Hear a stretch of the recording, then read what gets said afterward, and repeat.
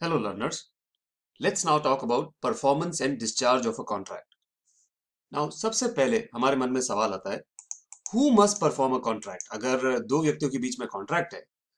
तो उस कॉन्ट्रैक्ट को परफॉर्म करने की ज़िम्मेदारी किसकी है आ, किसके अगेंस्ट आप परफॉर्म कर सकते हो किससे परफॉर्म एनफोर्स करवा सकते हो तो ये क्वेश्चन हमारे मन में आता है this has been answered in section 37 of Indian contract act जो कहता है the parties to a contract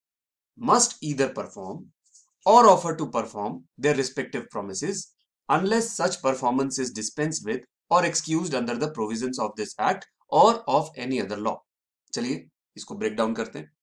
so so, सबसे पहले जो बात की गई है that is the parties to a contract तो सबसे पहले किसकी जिम्मेदारी हो रही होती है कॉन्ट्रैक्ट परफॉर्म करने की who must perform a contract तो the parties to the contract themselves they must either perform या फिर offer to perform their respective promise आपको याद होगा कॉन्ट्रैक्ट बनता है रेसिप्रोकल प्रोमिस से।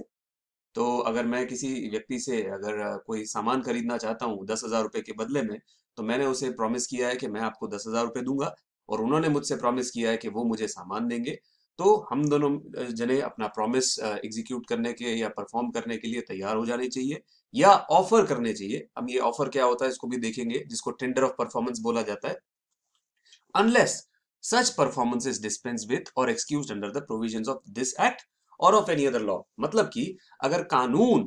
किसी भी कानून के प्रोविजंस किसी भी लॉ के प्रोविजंस कोई भी रूल्स या कोई भी लॉज अगर उस परफॉर्मेंस को एक्सक्यूज कर देते हैं तो अपने आप वो कॉन्ट्रैक्ट परफॉर्म माना जाता है। फॉर एग्ज़ाम्पल एक an insolvent insolvent is release from performing his part of the contract by law मतलब कि अगर कोई व्यक्ति इंसॉल्वेंट डिक्लेयर हो जाता है, जैसे अगर उसने बैंक से लोन लिया है या किसी क्रेडिटर्स से उसका उधार बाकी है और बैंक सॉरी अगर उसको इंसॉल्वेंट डिक्लेयर किया कर दिया जाता है इंडिया के अंदर ये अब किया जाता है इंसॉल्वेंसी बैंकिंग कोर्ट के थ्रू आईबीसी के थ्रू तो अगर उसको इंसॉल्वेंट डिक्लेयर कर दिया जाता है then that person is not liable to perform his contract any more so who must perform the contract let's see once again the parties to the contracts must perform their respective promises or offer to perform their respective promises and when one party performs his promise he can enforce the performance of the promise of the other party मतलब कि जो मैंने आपको example दिया था कि अगर मैं किसी व्यक्ति से दस हज़ार रुपए में कुछ सामान खरीदना चाहता हूँ तो एक बार मैंने उन्हें पेमेंट कर दी, हो सकता है वो दस हज़ार की पेमेंट मैंने उन्हें एडवांस में कर दी तो अगर मैं अपना पार्ट पूरा कर देता हूँ तो आई कैन इन्फोर्स मैं उनके ऊपर दबाव डाल सकता हूँ कि आपको अपना प्रॉमिस अब, आपका अपना पार्ट अब पूरा करना ही पड़ेगा। ऑन दी अदर हैंड अगर उन्हें, उन्होंने मुझे सामान की डिलीवरी ऑलरेडी दे दी है तो they can demand payment from from me they can enforce payment from me के you have to pay me the ten thousand rupees so this is what is said in section thirty seven now promise जो होते हैं they bind the representative of promise मतलब कि अब यहाँ पे एक और मतलब निकल के आता है कि सबसे पहले तो कॉन्ट्रैक्ट परफॉर्म करने की ज़िम्मेदारी उनकी होती है, जो पार्टी टू द कॉन्ट्रैक्ट होते हैं. But in case of death of promise मतलब आप अपना कॉन्ट्रैक्ट पूरा कर सके उससे पहले अगर प्रोमिसर की डेथ हो जाती है इन दैट केस प्रोमिसर के जो लीगल रिप्रेजेंटेटिव है can be any it can be their children can be their spouse और it can be any other legal representative जिनके नाम पे वो अपने एस्टेट करके गए हैं। सो so, वो उनकी ज़िम्मेदारी बन जाती है in case of death of the promisor to perform that promise now यहाँ पे जो लाइबिलिटी ऑफ़ लीगल रिप्रेजेंटेटिव है it is limited only to the extent of the value of the property inherited from the deceased इसका एक example दिया हुआ है। Now, A promises to deliver goods to B on a certain day on payment of rupees thousand. A dies before that day. Now, इस case के अंदर because ए अपना promise पूरा करने से पहले गुजर गए तो उनके जो रिप्रेजेंटेटिव्स हैं उनके जो लीगल रिप्रेजेंटेटिव्स हैं they are bound to deliver the goods to B and B is bound to pay rupees one thousand to A's representative ये भी इंपॉर्टेंट है कि ना सिर्फ़ ए के रिप्रेजेंटेटिव्स को उनके गुड्स पहुँचाने पड़ेंगे बट बी को भी उनको पैसे देने पड़ेंगे। बी ये नहीं बोल सकता कि भाई मैंने तो उनके साथ प्रॉमिस किया था मैं आपको हज़ार रुपए क्यों दू? आप मुझे आप, आपका पार्ट पूरा कीजिए प्रॉमिस का। I do not have to execute my part now this is not true दोनों दो both A's representatives and B they are bound they are still bound by that contract however there is a very important exception to this rule. Now where there are contracts of personal consideration जाके जहाँ पे आपकी skills use की जाती है personal services use की जाती है। फॉर एग्ज़ाम्पल पेंटिंग हुआ कुकिंग हुआ लॉयर्स हुए डॉक्टर्स हुए, या फिर इंजीनियर्स हुए आर्किटेक्ट्स हुए, ये सब कॉन्ट्रैक्ट्स ऐसे होते हैं जहाँ पे आपकी पर्सनल एक व्यक्ति की personal skill personal quality personal services को हायर किया जाता है। In that case, the contract cannot be enforced against the representative of the deceased for example एक व्यक्ति प्रॉमिस करता है दूसरे व्यक्ति को कि मैं आपकी पिक्चर पेंट करके दूँगा on a certain day at a certain price now picture paint करने से पहले जो पेंटर होता है, जो आर्टिस्ट होता है, वो एक्सपायर हो जाता है, गुजर जाता है. Now this contract can not be enforce either by his representative और बाय बी इसका मतलब क्या हुआ कि जो आर्टिस्ट है, पहली बात तो जो आर्टिस्ट अगर पेंटिंग करने से पहले गुजर गया तो जिस व्यक्ति ने आर्टिस्ट को हायर किया था वो उनके लीगल रिप्रेजेंटेटिव्स उनके सन्स या डॉटर्स या जो भी उनके लीगल रिप्रेजेंटेटिव है, उनके पास जाके नहीं बोल सकता कि अभी आपको मुझे पेंटिंग बना के देनी पड़ेगी। बाय बिकॉज़ वो स्किल आर्टिस्ट की थी। On the other hand even artist के जो वारसदार है, उनके जो लीगल रिप्रेजेंटेटिव रिप्रेजेंटेटिव्स है, उनको ऐसा लगता है कि हमें पैसे की ज़रूरत है और हम बी के पास जाते हैं और बोलते हैं कि नहीं आपने हमारे फादर को आपने हायर किया था अभी आप हमें भी हायर कीजिए ये करके। So this is both the person they are not bound by this contract any more because it is a contract of personal skill the contract expires the moment the person who skill you are depending on passes away. Now let's uh, this is a quick refresher अभी तक जो हम लोगों ने पढ़ा उसको quickly revise कर लेते तो who should perform a promise in a contract in case of a personal contract by the promise personally personal contract मतलब जहाँ पे आपकी स्किल्स यूज़ होती है। फॉर एग्ज़ाम्पल अगर आपको किसी को ट्यूशन पढ़ाना है या कोई डॉक्टर है या कोई वकील है चार्टेड अकाउंटेंट है they are personal contract so by the promise personally in case of a non personal contract कोई नॉर्मल खरीद बेच का सौदा है, कोई सामान का सौदा है, कोई एक यूजुअल बिज़नेस कॉन्ट्रैक्ट है लीजिंग एग्रीमेंट है in that case the promisor personally और by third person on behalf of the promisor आप अपना एजेंट रख सकते हो, आप अपना रिप्रेजेंटेटिव रख सकते हो पावर ऑफ़ अटर्नी दे सकते हो, और in the event of death of the promisor by his legal representative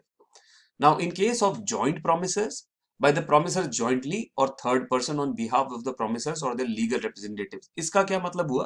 कि फॉर एग्ज़ाम्पल अगर आप किसी पार्टनरशिप फॉर्म के साथ कॉन्ट्रैक्ट में उतर रहे हैं तो वो पार्टनरशिप फर्म के तीन पार्टनर चार पार्टनर जितने भी पार्टनर फर्म में हैं वो सब इस कॉन्ट्रैक्ट से बाउंड है।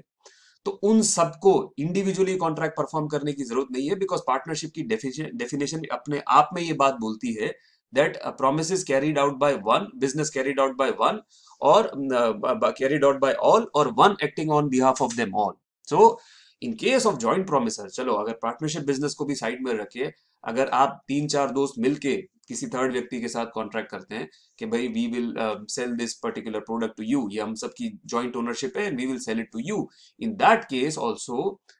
एक जने के साथ अगर एक uh, सामने वाले व्यक्ति ने आप में से किसी एक जने को अगर कंसिडरेशन दे दिया उसने अगर पैसे का अमाउंट आपको दे दिया then all of you are legally bound bound by that contract उसको हर एक व्यक्ति के साथ इंडिविजुअल कॉन्ट्रैक्ट बनाने की ज़रूरत नहीं। Next is tender of performance अब टेंडर ऑफ़ परफॉर्मेंस एक काफ़ी इंपॉर्टेंट टर्म है। है बहुत सिंपल इसको समझना। Tender of performance is also called offer of performance it is nothing when the parties to a contract offer to perform their respective promise it is a tender और an offer of performance बहुत simple इसको terms में समझाना हो तो। दो व्यक्ति A और B A enters into a contract to sell his horse to B now A when he offers his horse to B this is called this is an offer और tender of performance के अगर ए ने B को अपना horse बेचा बेचा है और ए बी को अगर घोड़े की लगाम उसकी तरफ़ कर देता है, अगर वो लोग सामने खड़े हैं कि लीजिए, ये मेरा घोड़ा आपका हुआ, या फिर अगर बी के घर पे उसका घोड़ा लेके आ जाता है कि लीजिए, ये हॉर्स मैं आपको डिलीवर करने आया हूँ। दिस इज़ एन ऑफ़र और टेंडर ऑफ़ परफॉर्मेंस बेसिकली यहाँ पे क्या हो रहा है कि जो पार्टी टू द कॉन्ट्रैक्ट है पार्टीज़ टू द कॉन्ट्रैक्ट है वो अपनी सिग्निफिकेंस दे रहे हैं वो अपनी ऑफ़र दे रहे हैं कि let us now perform the contract हम अपनी जो कॉन्ट्रैक्चुअल ड्यूटीज़ है उनको निभाते हैं और इस कॉन्ट्रैक्ट को परफॉर्म करके खत्म करते हैं What are the essentials of a valid tender of performance? Now, first of all, it must be purely unconditional. अगर एक व्यक्ति दूसरे व्यक्ति को हज़ार रुपए वो करता है तो at the time of repayment अगर जिस, जो जिसने उधार लिया है, वो बोलता है कि देखिए भाई, हज़ार रुपए तो मैं आपको दे नहीं सकता, मैं आपको सिर्फ़ पाँच सौ रुपए दूँगा फुल एंड फाइनल आपको लेने तो लीजिए, नहीं लेने तो नहीं लीजिए। Now this is not a valid tender ये क्यों इंपॉर्टेंट है कॉन्सेप्ट कि अगर अदालत में यूजुअली क्या होता है, हम आगे जैसे देखेंगे कि अगर कोई व्यक्ति टेंडर ऑफ़ परफॉर्मेंस देता है, एक प्रोमिसर अगर टेंडर ऑफ़ परफॉर्मेंस देता है और दूसरा प्रोमिस ही अगर उसको एक्सेप्ट नहीं करता है या उसको इग्नोर करता है इन दैट केस जो जिसने टेंडर ऑफ़ परफॉर्मेंस किया है that person is discharge from the contract उनको फिर आगे कॉन्ट्रैक्ट को निभाने की ज़िम्मेदारी नहीं है, वो अब वो ज़िम्मेदारी हो गई दूसरे व्यक्ति के ऊपर कि उन्होंने उसका अपना हक जाने दिया है। बट यहाँ पे अगर कोई मेरे को किसी से अगर हज़ार रुपए लेने और उसके एवज में मुझे सिर्फ़ पाँच सौ रुपए देता है और मैं उसको मना करता हूँ सो यहाँ पे मेरा हक नहीं चला गया बिकॉज़ जो उन्होंने जो टेंडर दिया है, उन्होंने जो ऑफ़र दिया है परफॉर्म करने का, वो आधा अधूरा ऑफ़र है, वो कंडीशनल ऑफ़र है so it is not a valid tender of performance मेरे राइट्स मेरे हक अभी भी इस कॉन्ट्रैक्ट में ओरिजिनल राइट्स की तरह ही रहेंगे। नाउ दिस ऑफ़र और the tender of performance should be made by the promiser और by his representative to perform the promise मतलब कि promiser को खुद को ये या फिर अपने representative अपने agent के through अपने servant के through अपने broker के through ये offer देना है otherwise it will not be a valid tender it must be made at a proper or reasonable time and place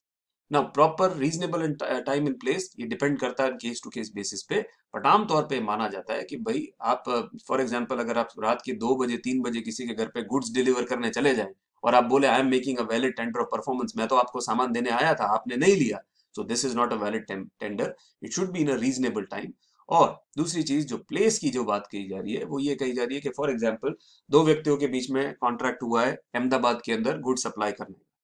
अब जो प्रोमिसर है, वो क्या करता है कि भाई बोलता है कि मैं अहमदाबाद में गुड्स नहीं, मैं तो बड़ोड़ा में गुड्स रख के आ गया हूँ। जाओ आप वहाँ से उठा के ले आओ, मैंने तो आपको ऑफ़र कर दिया है कि आपके गुड्स वहाँ पे बड़ोड़ा में पड़े। This is not a valid tender because आपको जहाँ पे आपका कॉन्ट्रैक्ट है, उसके उसके ऊपर ये चीज़ डिपेंड करती है। But again let me highlight it once again this reasonable time and reasonable place is very different from case to case basis ठीक है? It must be made under such circumstances that the person to whom it is made by must have a reasonable opportunity of ascertaining that the person by whom it is made is able and willing to fulfill the whole of what is bound by promise to do मतलब कि सामने वाला व्यक्ति ये जो offer कर रहा है is it an empty offer or that person is actually capable and willing to fulfill the whole of what he is bound by the promise to do वो यही वाला एग्जांपल जो है अगर ए बी को बोलता है कि मैं आपको इस समय पाँच सौ रुपए दे रहा हूँ और बाकी पाँच सौ रुपए मैं आपको कल या परसों तक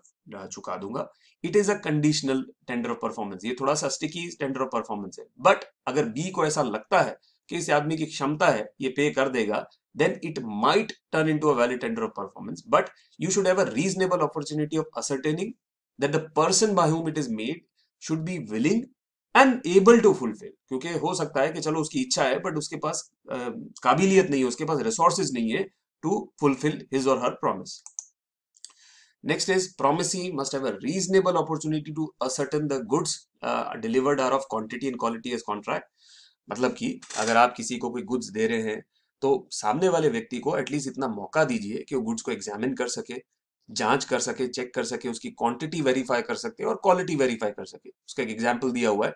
के A contract to deliver B at his warehouse on first March 1873 hundred bales of cotton of a particular quality now in order to make an offer of performance और tender of performance A must bring the cotton to B's warehouse on the day तो देखिए time और place आ गया कि जिस दिन उन्होंने decide किया था, इस दिन हम लोग देंगे और उनके वेयर हाउस पे लेके आता है। Under such circumstances that B may have a reasonable opportunity of satisfying himself that the thing offered is of, is cotton of the quality contracted and that there are 100 bales मतलब कि ना सिर्फ़ उसको 100 bales गिनने का समय मिलना चाहिए, पर उसको कुछ चार, पाँच, छह बेल्स चेक करके क्वालिटी को भी जांचने का मौका मिलना चाहिए। ऐसा नहीं हो कि भाई ए आता है और बी के वेयर हाउस के आगे माल डंप करता है, बोलता है, जल्दी जल्दी मेरे पैसे दीजिए, मैं जा रहा हूँ अदरवाइज़ आपको देखना है तो देखो, नहीं देखना तो ना देखो I am getting away B must have a reasonable opportunity to examine both the quantity and quality of the good. In case of joint promises, an offer to one one is same as an offer to them all. अगर आपके joint promises है एक contract के अंदर एक से ज़्यादा promises है तो इन केस के अंदर आपको हर किसी को इंडिविजुअली फ़ोन करके और हर किसी को इंडिविजुअली मिल के ऑफ़र करने की ज़रूरत नहीं है आपने किसी भी एक व्यक्ति को ऑफ़र किया it is considered as a valid tender of performance now it must be made to the promisee और इज़ ड्यूली ऑथराइज्ड एजेंट आप किसी रैंडम व्यक्ति को अगर टेंडर ऑफ़ परफॉर्मेंस देते हैं आई एम विलिंग और I am ready to perform my part of the promise is not a valid tender of uh, performance. It should be made to the promisee himself or their agent. उनका कोई agent legal agent है represented agent है उनको आप ये बात बोल सकते हैं। Let now see effect of refusal to accept offer of performance मतलब कि अगर कोई टेंडर ऑफ़ परफॉर्मेंस देता है आई एम सेइंग कि लीजिए मैं आपको अपना हॉर्स देने को तैयार हूँ और सामने वाला व्यक्ति अगर उसको मना करता है तो क्या होता है? सो so, ऐसी सिचुएशन में इंडियन कॉन्ट्रैक्ट एक्ट कहता है when a promisor has made an offer of performance to the promisee and the offer has not been accepted उस केस में क्या होगा? First of all the promisor is not responsible for non performance अब आगे चल के अगर वो कॉन्ट्रैक्ट परफॉर्म नहीं हो पाता है तो प्रोमिसर की कोई गलती नहीं है। ही और she had made the original tender of performance promisee ने उसको नहीं एक्सेप्ट किया so promisor is not responsible any more nor does he thereby lose his rights under the contract मतलब कि, कि उसके जो राइट्स थे वो अपने आप डिस्चार्ज नहीं हो गए। ही और शी कैन स्टिल क्लेम जो मेरा है वो मुझे मिलना चाहिए। Now, when a party to a contract has refused to perform or disables himself from performing his promise in its entirety, the promisee may put an end to the contract or he may accept its continuance. Now, disables himself from performing क्या हुआ?